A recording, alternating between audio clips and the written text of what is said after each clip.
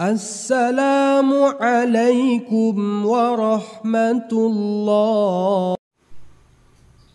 Assalamualaikum warahmatullahi wabarakatuh. Halo teman-teman, sahabat-sahabat semuanya. Ketemu kembali dengan channel saya YouTube Fotokopi ya teman-teman.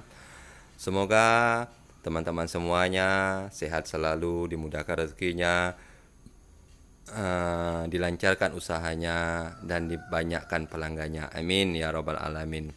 Pada kesempatan kali ini seperti biasanya teman-teman Saya masih berada di tempat usaha saya Yaitu usaha penggandaan dokumen. Kalau di tempat di kampung saya namanya uh, Toko fotokopi ya teman-teman.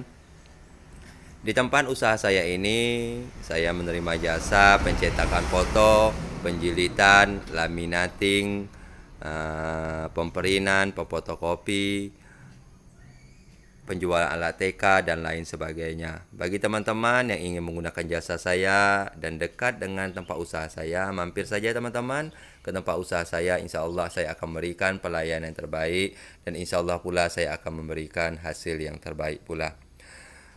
Pada kesempatan kali ini di hari Rabu ini ya teman-teman di pagi ini jam setengah sembilan uh, saya karena di waktu-waktu senggang di tempat saya ini jam-jam seperti ini uh, pelanggannya tidak terlalu padat ya teman-teman.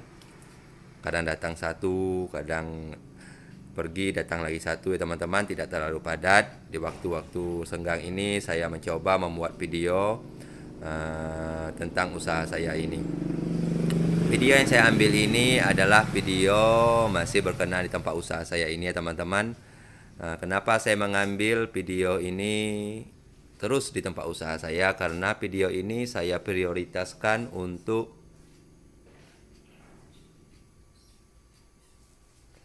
video ini saya prioritaskan untuk uh, penyemangat saya untuk memajukan usaha saya. Uh, dan umumnya saya prioritaskan juga untuk sahabat-sahabat semuanya yang ingin membuka usaha Uh, seperti saya ini, siapa tahu video ini bisa menjadi motivasi bagi teman-teman atau bisa menjadi referensi penyemangat bagi teman-teman ingin membuka usaha seperti saya ini. Uh, mungkin atau usaha-usaha yang lain, uh, usaha apa pun sama saja teman-teman. Uh, yang penting usahanya halal uh, dan bisa usahanya bisa untuk kebutuhan kita sehari-hari. Selanjutnya pada kesempatan kali ini ya teman-teman uh, saya akan berbagi sedikit atau bercerita sedikit atau memberi uh, apalah namanya itu berceritalah sedikit tentang usaha pemula ya teman-teman bagi teman-teman yang ingin membuka usaha Nah, mungkin kita terkendala dana seperti saya ini dulu saya sangat terkendala dana ya teman-teman. Eh, kita belum bisa kita ingin membuka usaha fotokopi tetapi kita belum bisa membeli mesin fotokopi walaupun mesin fotokopi mini. Teman-teman bisa menggunakan mesin pot mesin printer untuk membuka jasa fotokopi teman-teman. Tetapi mesin printer yang teman-teman harus miliki yaitu mesin printer yang ada fasilitas fotokopinya teman-teman.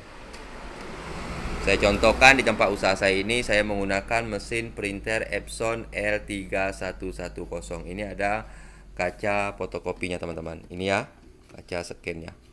Ini hanya bisa untuk ukuran A4 ya teman-teman kalau ingin memfotokopi, memfotokopi ukuran F4 nanti kita tinggal edit saja di komputer ya teman-teman yang kedua, teman-teman harus membeli mesin printer ini yang langsung ada tempat tabung pengisian tinta ya teman-teman. Nah, biar kita lebih gampang mengecek apakah tintanya kurang atau bagaimana ya teman-teman. Kita tidak perlu mensuntik lagi teman-teman. Nah, mesin printer ini untuk usaha ini bisa merek-merek yang lain, tetapi pada saat ini di tempat saya hanya ada merek Epson ya teman-teman mungkin masih banyak merek-merek yang lain yang bisa teman-teman jadikan sebagai mesin fotokopi untuk kita di rumah atau untuk buka usaha sampai kita mendapatkan modal untuk membeli mesin fotokopi yang mini ya teman-teman. Uh, selanjutnya teman-teman harus mencari mesin printer ini yang mesinnya agak tahan. Karena akan kita pergunakan untuk memfotokopi. Biasanya kalau memfotokopi itu banyak ya teman-teman. Uh, kadang minimal paling tidak kita bisa memfotokopi sekali jalan yaitu 20 lembar lah teman-teman. Baru kita stop lagi jalan lagi 20 lembar teman-teman jadi itulah teman-teman uh, mesin fotokopi yang bisa kita gunakan apabila kita terkendala untuk dana ya teman-teman untuk membeli mesin fotokopi mini. Nah, kalau saya sekarang menggunakan mesin fotokopi mini ini ya teman-teman. Nah, tetapi mesin printer ini bisa menjadi alternatif bagi teman-teman yang ingin membuka usaha yang usaha fotokopi kecil-kecilan teman-teman. Yang jelas harus ada kaca scannya di dalam. Kita cari yang ada tabungnya teman-teman. Mungkin hanya itu yang dapat saya sampaikan di video singkat kali ini. Bagi teman-teman yang kepengen membuka usaha tetapi terkendala dana teman-teman bisa memanfaatkan printer yang ada mesin fotokopinya teman-teman. Mungkin hanya itu yang dapat saya sampaikan uh, di video kali ini uh, bagi teman-teman yang menganggap video saya ini bermanfaat silahkan klik tombol subscribe ya teman-teman uh, bagikan ke media sosial agar channel YouTube saya ini bisa berkembang. Amin. Saya doakan pula bagi teman-teman yang ingin membuka usaha semoga cepat terkabul dan uh, usahanya semakin sukses. Amin. Mungkin hanya itu yang dapat saya sampaikan pada kesempatan kali ini. Lebih dan kurang saya mohon maaf apabila ada salah, baik yang disengaja ataupun yang tidak disengaja. Dan saya akhiri dengan ucapan wabillahi taufik wal hidayah. Wassalamualaikum warahmatullahi wabarakatuh.